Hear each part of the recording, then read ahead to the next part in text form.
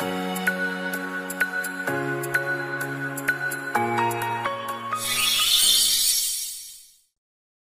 い、えー、こんにちは、レトスノーです。えー、今回なんですけども、都市計画法の具体的なイメージ、えー、これについてちょっと、え、解説させていただきたいと思います。え、都市計画法、まあ、法令上の制限の中でも、まあ、大体ね、一番最初に勉強する部分なんですけども、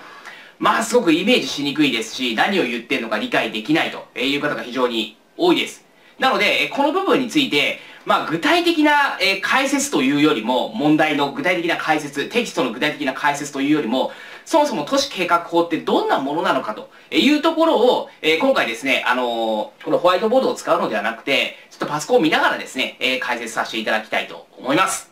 はい、えー、それではですね、今回は、えー、横浜市の行政地図情報提供システムということで、まあ、通称マッピーと、えー、呼ばれている、え、ものなんですけども、これインターネットで調べると、え、出てきます。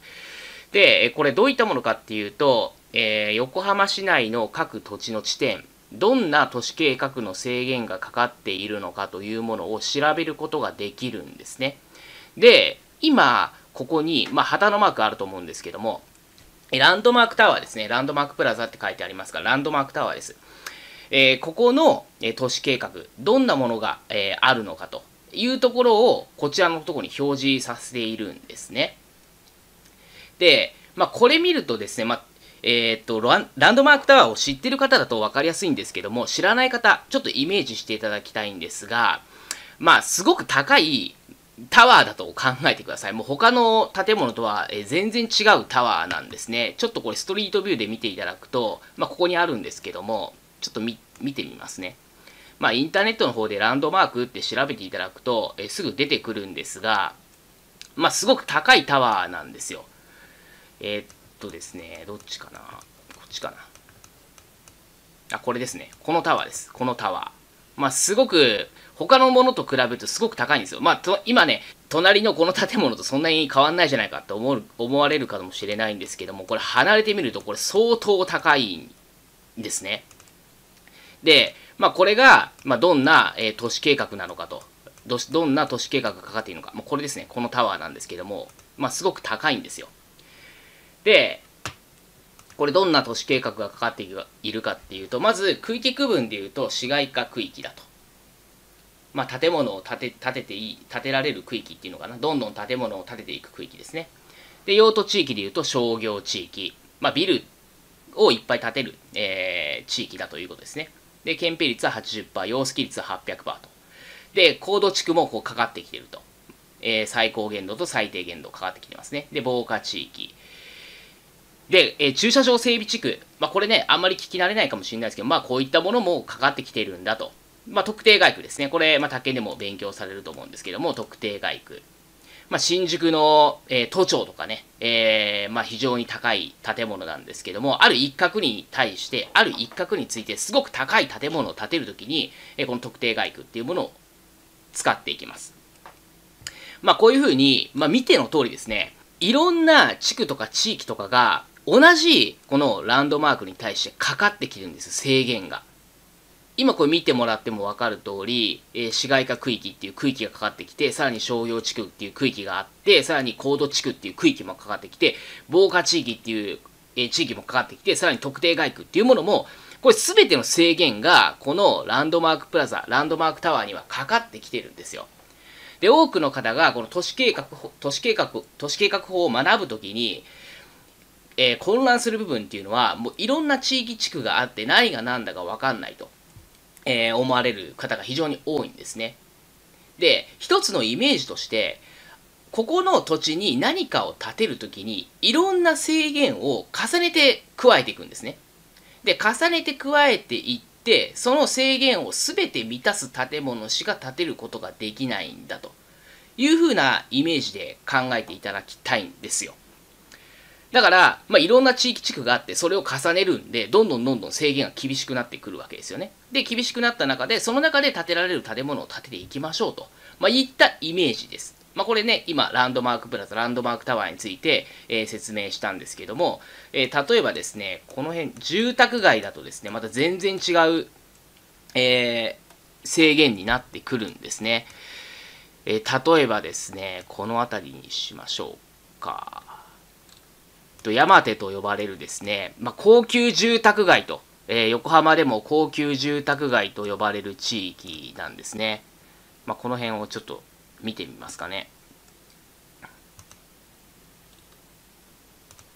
ちょっと適当に、えー、調べてみましょう。これ、まあ、高級住宅街の一角です。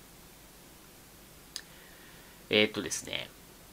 まあ、これ市街化区域内。まあ、さっきと一緒ですね。で、これ低層住居専用地域。で、これも高度地区ですね。かかってきてますね。えー、高度。最高限。いわゆる高さマックス何メートルまでですよ、みたいな感じですね。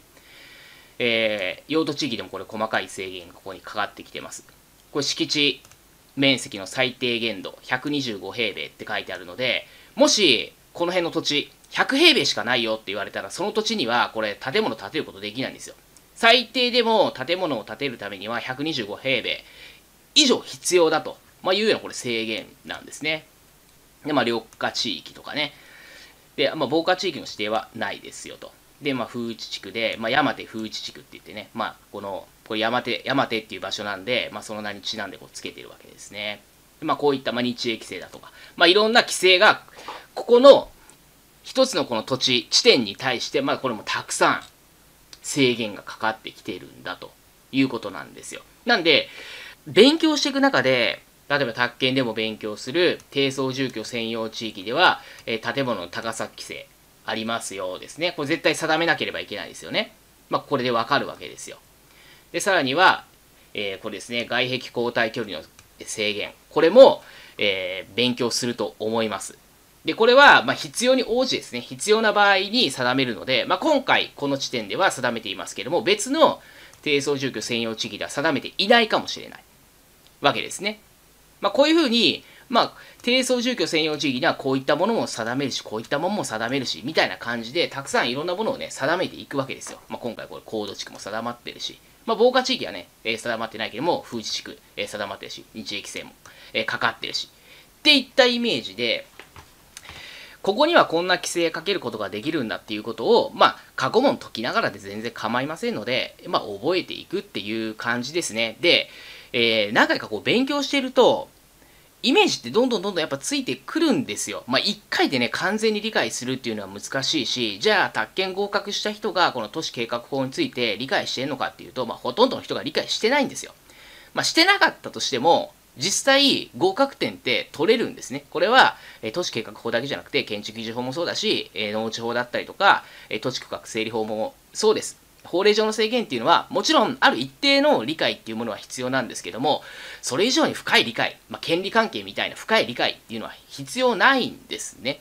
ある程度、まあ、えー、そういうもんなんだって覚えていただくと。えー、いった感じがいいと思います。で、えー、こういったね、え、敷地面積の最低限度、今ね、え簡単に説明しましたけども、そういった内容っていうのはネットで調べていただければ、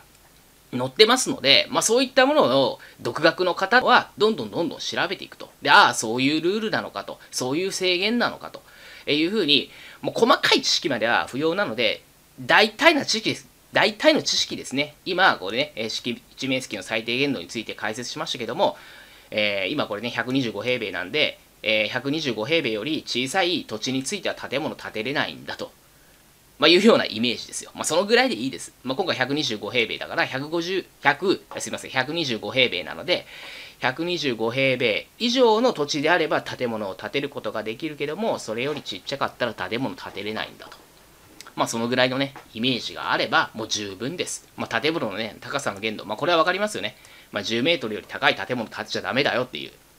まあ、そのぐらいのイメージですよ。まあ、そのぐらいのイメージを持てれば、まあ、十分です。まあ、低層住居ってこれ書いてあるんで、えー、低層の住居しか、まあ、基本的には建てられない区域なんだ、みたいなイメージですよね。まあ、このね、漢字からどんどんどんどんイメージしていくっていうのも全然構いませんし、まあ、細かい知識っていうものは不要なので、宅建の、えー、試験に過去問とかにね、